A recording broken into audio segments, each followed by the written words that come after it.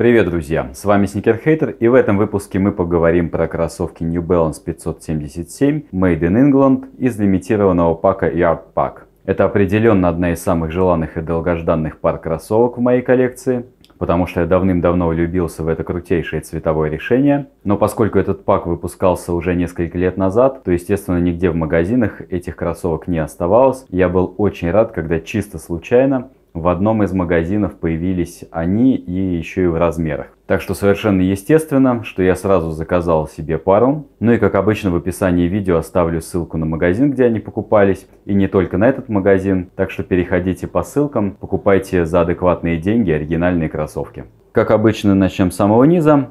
Внизу нас ждет совершенно стандартная для 577 английской модели подметка XR 1000. Естественно износостойкая естественно агрессивная. Вот таким образом она выглядит. Местами полупрозрачная. И, в принципе, совершенно стандартное базовое решение. Единственное, что отличает ее от большинства других, это бежевый цвет, который действительно достаточно редко встречается. Но, опять же, тоже не является какой-то прямо особенной редкостью. Подметка стандартной толщины, достаточно средней для New Balance, но более чем достаточно и в плане износостойкости. По части Мицола тоже никаких новостей. Это NCAP в задней части и прессованная пена EVA спереди, которая обычно называется C-Cap. NCAP, к счастью, достаточно жесткий, поэтому все замечательно работает. В общем, ходить одно удовольствие. Вот таким вот образом он выглядит.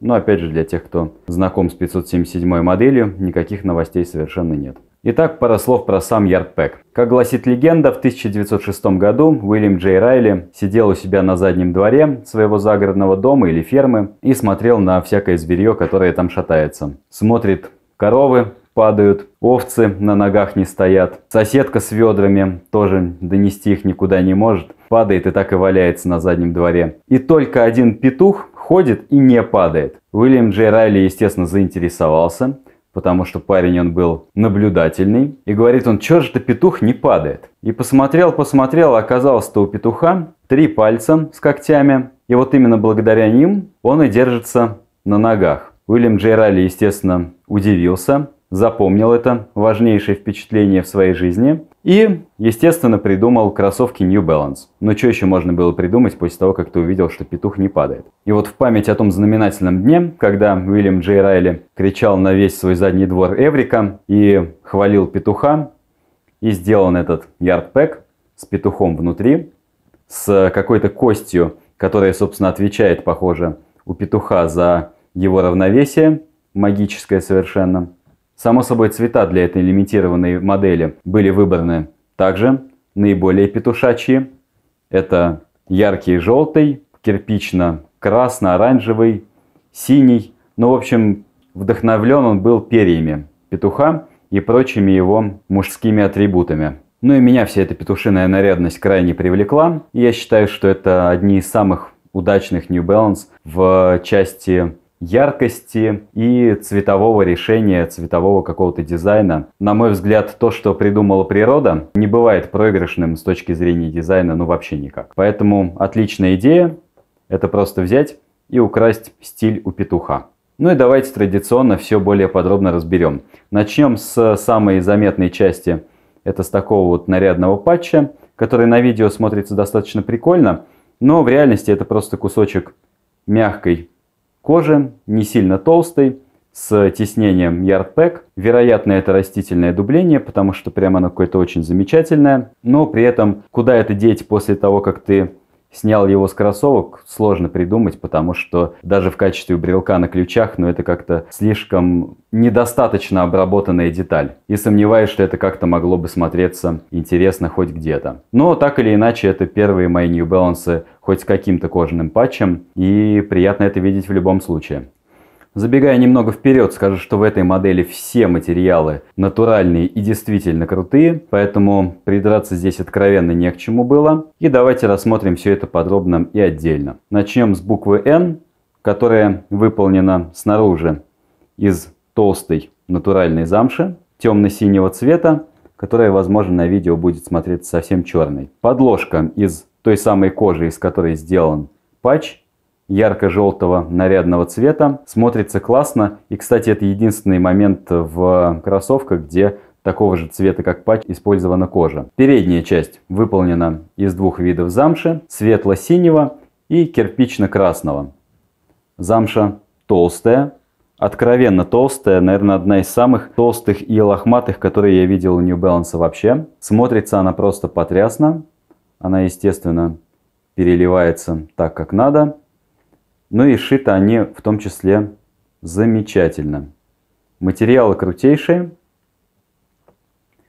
В середине темно-синяя замша под цвет буквы N из, то, из того же материала выполненная. А задняя часть выполнена из темно-синего с явной и характерной текстурой кожаной. Скорее всего это ноутбук или просто чуть-чуть шлифованная кожа с шлифованным глянцевым слоем. Смотрится замечательно, ну вот тоже такая матовая история которая тоже как-то вот так переливается. Здесь мы имеем также матовую кожу, скорее всего растительного дубления, которая тоже немножко меняет цвет, поскольку на ней есть какой-то микроворс. Смотрится крутейше, очень дорого, очень качественно. Перфорированная замша такая же, как и спереди, но уже с перфорацией в этой части и сзади кирпичного цвета замша, тоже высшего качества, с вышивкой New Balance. Все это сшито прекрасно, без традиционных для Англии косяков, ну насколько это вообще возможно. Смотрится просто потрясающе. Огромное удовольствие получаю от этой пары и ждал ее, честно говоря, целых два месяца. Уже потеряли мою посылку на почте. Я думал, что все, она ко мне никогда не приедет. И я откровенно расстраивался, потому что это, наверное, единственная пара, которую мне действительно было бы жалко потерять. Язычок тоже из крутейшей натуральной замши с нарядной вполне вышивкой не кричащий и очень-очень круто выглядящий. Огромное спасибо New Balance, что хоть в том далеком году, когда делался этот пак, они не надумались сэкономить и сделать этот язычок из дерматина. Действительно, это очень круто выглядит. Это классное, интересное украшение модели, качественный замшевый натуральный язычок. В нижней части язычка сетка. И самое главное, что в передней части Кроссовка тоже сетка. Она практически идеально прозрачная.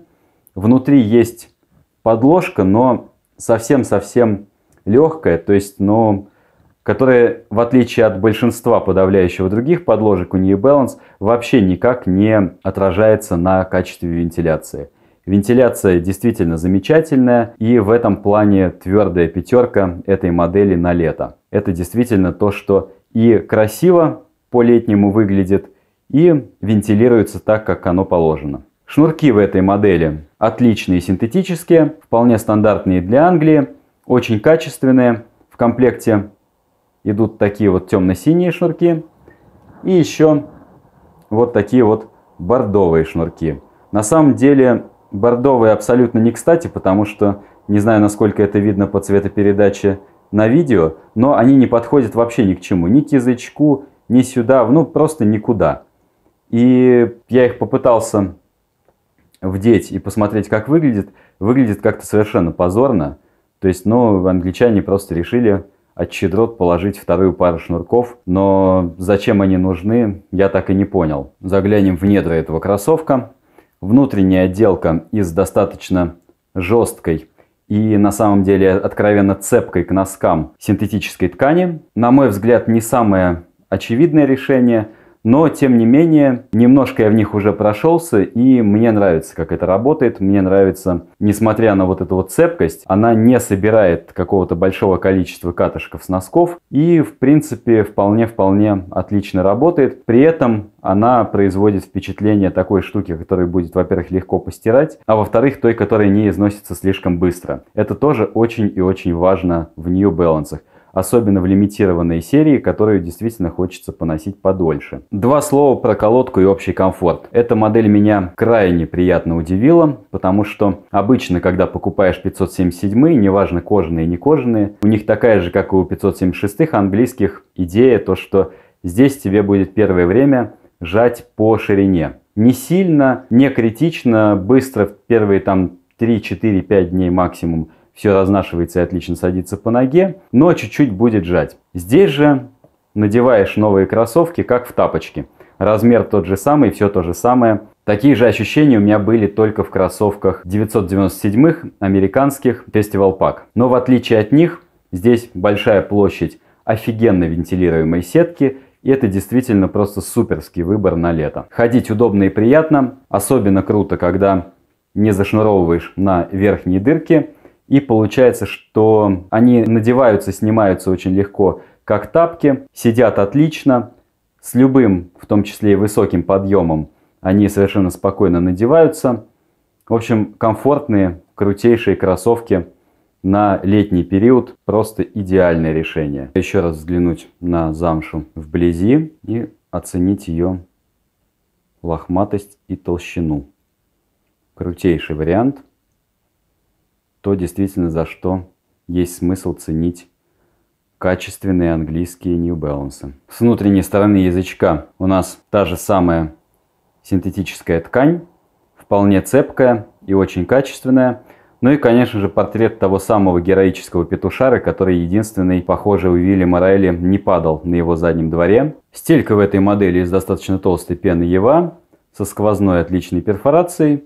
Не знаю, насколько это эффективно, скорее всего, не насколько, но тем не менее, так оно и есть. Отчаянного красного цвета, стелька практически глянцевая, и не знаю, насколько это хорошо в плане того, не будет ли она скользкая в итоге, но так или иначе смотрится достаточно нарядно и забавно. В задней части стельки принц с изображением, похоже, что той самой кости, которой Уильям Джей Райли приписывает всю заслугу в стабильности петуха, с какими-то абсолютно непонятными цифрами, ничего не, обна- не обозначающими и никак не расшифрованными нигде, ну и с автографом, собственно, Уильяма Райли. В целом еще одно классное дополнение к и так уже прекрасному дизайну этой модели. Подведем итоги. На мой взгляд, петушачий пак безусловно крут. Это тот самый случай, когда мы имеем потрясающий дизайн, отличное сочетание цветов в прекрасном английском стиле и крутейшие материалы в каждой детали кроссовка. Видимо, все это было сделано еще в эпоху до того, как они наняли того парня, который придумал экономить на всем и втыкать везде дерматин в английские кроссовки. Что касается сезона, это тот редкий случай, когда английские кроссовки отлично подходят на лето. По поводу колодки повторюсь, что для тех людей, кто по ширине ноги